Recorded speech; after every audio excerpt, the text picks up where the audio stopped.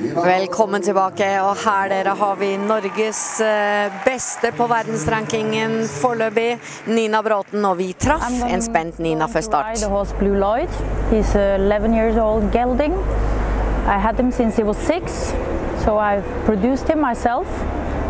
And I think that's a good thing because the horse learns to know you very well and I learns to know him. So I mean, I think we are a pretty good team.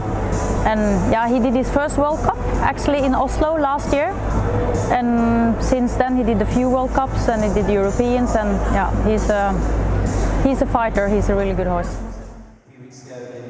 Og det kan vi skrive under på. Nina Bråtens hest Blue Lloyd, altså en oldenbulger Wallach, 11 år etter Landor S. 20 poeng tok denne ekvipasjen i verdenscupsesongen i fjor. De var 16 i Oslo, 7 i Verona, 8 i Stuttgart. Nå er hesten ett år eldre, og da skal vi se hvordan det går med Nina og Lloyd, som altså vant den andre EM-runden, altså i årets europamesterskap. Kommet bra i gang her, Nina. Over okse nummer tre her nå. Viktig at hun får lagt linja si godt her nå frem til fire. Det gjør hun. Helt perfekt. Så er det om å gjøre å komme godt ut i hjørnet her for å få gitt plass til denne store okseren med vannmatte. Og riktig linje inn her til trekombinasjonen som Nina løser på en utmerket måte. Velger de seks stegene til rekken. Feilfri så langt. Nina Bråten og Blue Lloyd.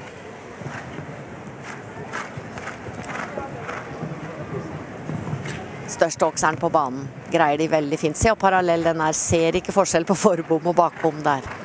Holder nullen. Smalrekken her på makshøyde.